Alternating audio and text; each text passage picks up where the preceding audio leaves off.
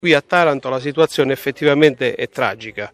Uh, una struttura che dovrebbe ospitare non più di 300 detenuti, eh, ce ne sono quasi 800, per cui vi è una gestione abbastanza critica, una carenza uh, di educatori, eh, per cui il trattamento viene annullato in questo istituto non è possibile gestire la sicurezza, non è, non, è, non è, possibile garantire quei diritti minimi. Gli agenti di polizia penitenziaria si sono incatenati dinanzi ai cancelli della casa circondariale di Taranto questa mattina in segno di protesta contro una situazione che definiscono ormai ingestibile.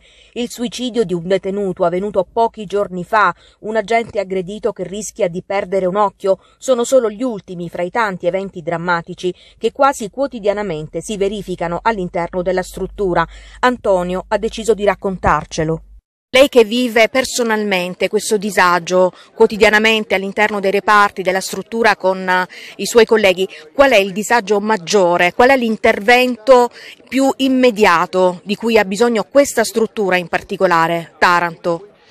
Sono diverse le, le, problematiche. Il primo è la carenza organica che si ripercuote diciamo, soprattutto nei, nei turni pomeridiani e festivi, dove il personale è ridotto al minimo e quindi siamo costretti a lavorare in una condizione veramente eh, sotto organico, sotto, sotto sicurezza e comunque il collega che lavora all'interno è costretto a gestire un piano intero con 200 detenuti.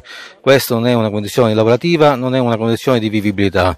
Signora, lei è la moglie di un agente di polizia penitenziaria. Come, come vive indirettamente questa, questa situazione? Ovvi ovviamente si vive nella, nella, tensione perché comunque quando i mariti tornano dal, dal lavoro sono, sono nervosi, sono stanchi e anche sfiduciati Gujarat